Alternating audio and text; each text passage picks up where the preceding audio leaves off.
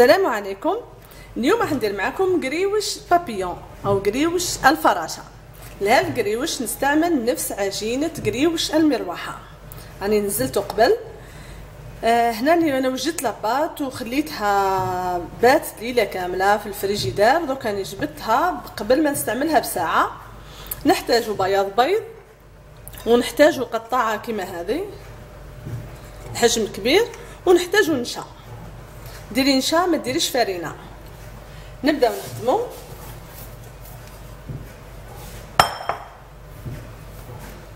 أنا حنقسم العجين تاعي على زوج.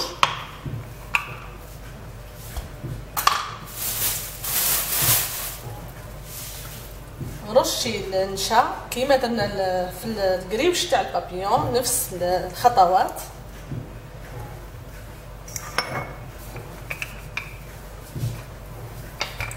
ونحلوه رقيق خلاص. حلو العجين تاعنا.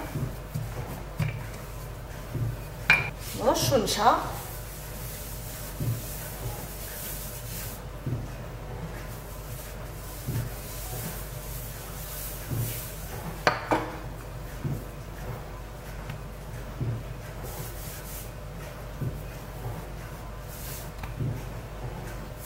نطبقوا العجين على ثلاثة.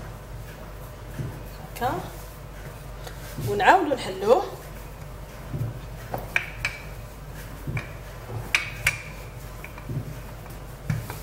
تحليه ترققيه مليح ومن بعد ديري نفس الخطوات من بعد تعاودي تطبقيه على زوج.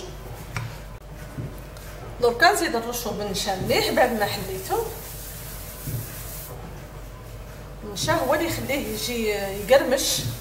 والطريقة هذه يجيك مورق كيما la pâte feuilletée هكا. دوكا نطبقوه على زوج. دائما ما نساوش نشا. voilà هكا. دركا نخليوه يرتاح خمس دقائق ومن نجيو نكملوه دوك نكملو نحلو العجين تاعنا. دركا لازم نحلوه رقيق خلاص.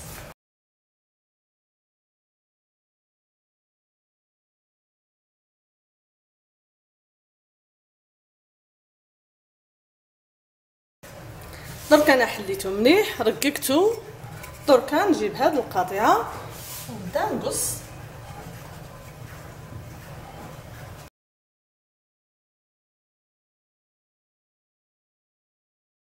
تقصيهم كامل ومن بعد تشكليهم هاك شكل فراشات كيما هاك. تحكميه تحكمي الشكل هذا الدائري وتلميه في الوسط. هكا تشكل لك بابيون. تشكل لك هكا بابيون. دركا هذوك لي شيت تاع العجين نقصوا أشرطة. رقاق كيما هكا. ونديروا لها لهنا هاك. وبياض البيض نلصقوه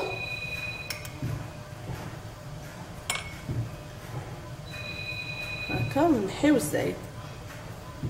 على هاك.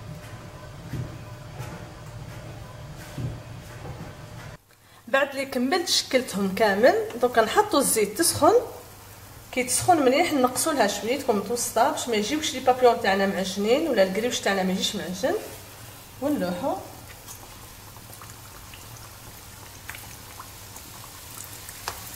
وتعاوني بالمغرف دائما بنفس الطريقة. قريبش تاعي تاع اليوم قريبش البابيون أو الفراشة راه هو كي واجد طاب صايي وعسلته كالمعتاد دركا جاهز للتقديم. آه هذه الحلوى حنا نحبوها كامل سورتو في شهر رمضان الكريم اللي على الأبواب بعد أسبوع إن شاء الله. إن شاء الله ربي يوصلنا يوصلنا كامل ونصوموا مع أحبابنا ويقبل منا ربي. آه وإن شاء الله تعجبكم لاغوزات وتنجح لكم ونقول لكم صحة رمضانكم مسبقا.